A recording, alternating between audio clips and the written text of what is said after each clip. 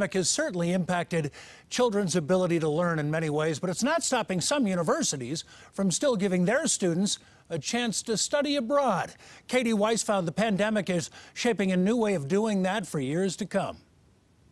I think now more than ever, uh, there is an onus on people to be these global citizens and recognize that your community is important, uh, but there might be something going on on the other side of the world that uh, that's extremely valuable. Max Morgan is a graduate student at CU Denver. He studied abroad a few years ago as an undergraduate, but this May he studied abroad from home. It's a unique challenge, and, and you have to set personal goals about what you're going to gain from these classes um, you know, you, you don't have what I call over the shoulder help. At a time when many universities around the country are canceling their study abroad programs due to the pandemic and travel restrictions, CU Denver is working to offer virtual study abroad opportunities for students.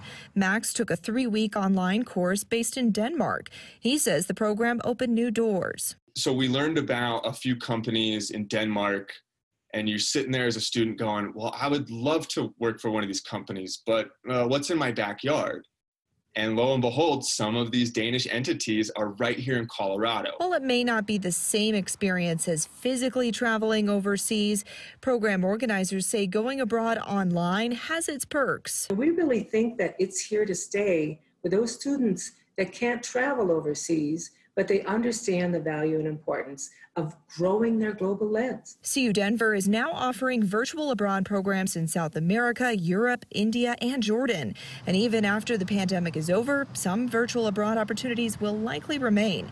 Max encourages all fellow students in the state to give it a shot. I felt like I have new uh, friends and resources and peers um, in, in, in a variety of fields. I'm Katie Weiss, covering Colorado First.